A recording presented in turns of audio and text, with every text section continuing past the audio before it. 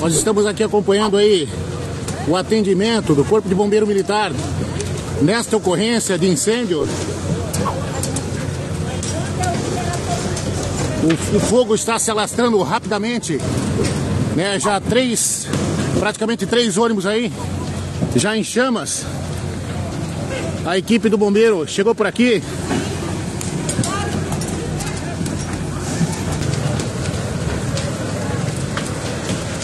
Nós estamos aqui nesse momento aí, o bombeiro já está montando a linha de combate a este incêndio, muito calor próximo aqui, né, o que está dificultando o trabalho e o fogo se alastrando rapidamente.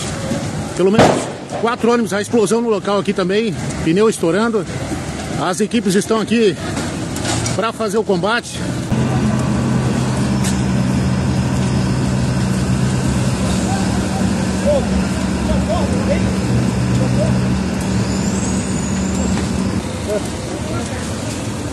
Estamos bem aqui atrás da rodoviária, no centro de São João Batista, gente. Nesse momento, então, acontecendo aí o combate a incêndio nos ônibus escolares.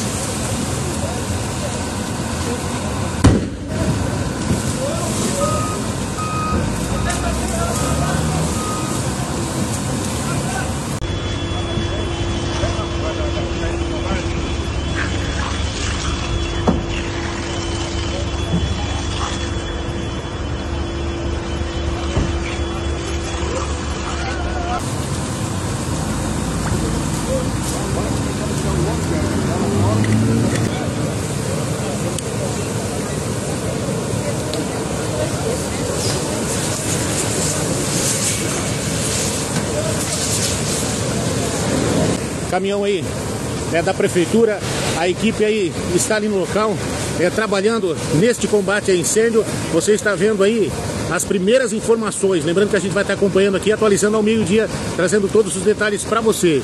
Todos empenhados aí para apagar esse incêndio aí que já destruiu quatro ônibus aqui no município de São João Batista. ônibus do transporte escolar aí, às vésperas da volta às aulas essa tragédia, podemos dizer aí, com a perca de pelo menos quatro ônibus aqui nesse incêndio que você acompanha todas as imagens.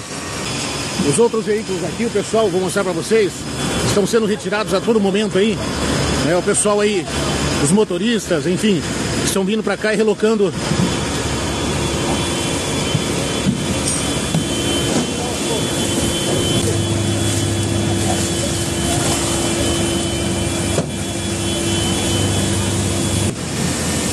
no combate a esse incêndio. E olha só, provavelmente ali, parte do combustível ali acabou pegando, se espalhando aí, o fogo se alastrando. Olha só.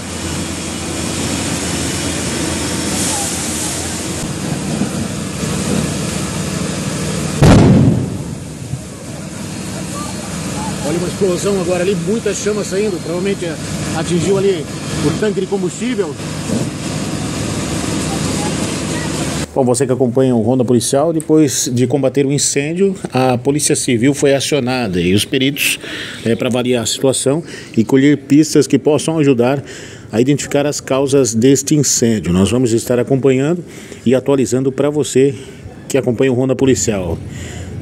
Daniel Fernandes, direto de São João Batista, acompanhando as guarnições do Bombeiro, também da Polícia Militar, da perícia aqui no local, para o Ronda Policial.